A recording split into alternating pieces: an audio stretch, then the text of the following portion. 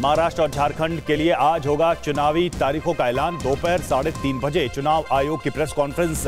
JMM का आरोप, BJP को कैसे? पहले ही मिल गई चुनाव तारीखों की जानकारी। चुनाव आयोग को देना चाहिए जवाब।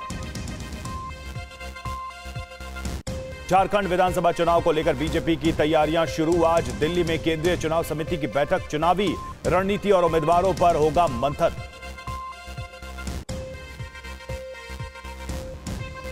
आज से पाकिस्तान में एससीओ की बैठक, विदेश मंत्री एस जयशंकर इस्लामाबाद समिट में लेंगे हिस्सा अर्थव्यवस्था, व्यापार और पर्यावरण के क्षेत्र में चल रहे सहयोग पर होगी चर्चा। कनाडा के खिलाफ भारत का सख्त एक्शन, उच्चायुक्त समेत छह राजनयिकों को 19 अक्टूबर तक वापस जाने का अल्टीमेटम, भारतीय उच्चायुक्त को भी वापस बुलाया। एमईए ने कहा, ट्रूडो सरकार पर सुरक्षा दे पाने का भरोसा नहीं।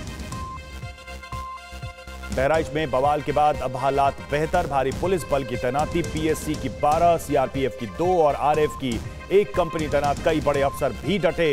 इंटरनेट सेवा बंद।